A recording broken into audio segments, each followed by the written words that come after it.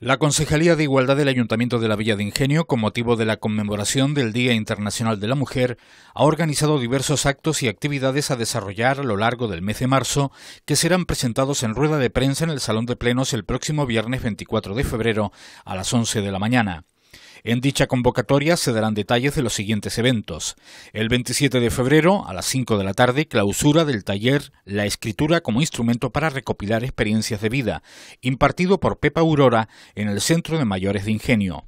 8 de marzo, a las once y media de la mañana, entrega de distinción al colectivo de mujeres Atenea en el Salón de Plenos del Ayuntamiento.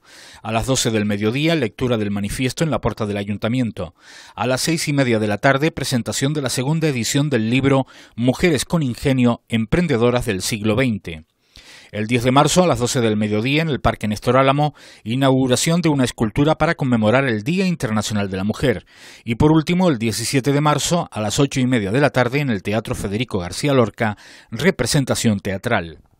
Es también una fecha reivindicativa en la agenda feminista en la que se recuerdan los hitos alcanzados y los retos pendientes.